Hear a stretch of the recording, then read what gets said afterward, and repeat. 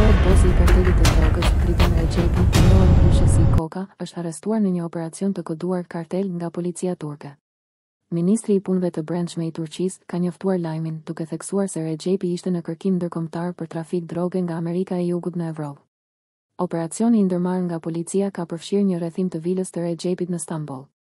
Grupi i përgatitur i policisë, i cili ka vepruar me përgjegjësi dhe profesionalizëm në momentin e kapjes së tij. Rexhepi ishte në kërkim nga autoritetet italiane dhe shqiptare për një sërë krimesh, përfshirë vrasje, trafik droge dhe rrëmbim. Ai gjithashtu kishte një listë të gjatë kërkimesh në Spanjë, Itali dhe Anglisë për trafikun e kokainës. Personi në fjalë kishte hyrë në Turqi me një pasaportë kolumbiane të regjistruar në emrin e Benjamin Omar Perez Garcia.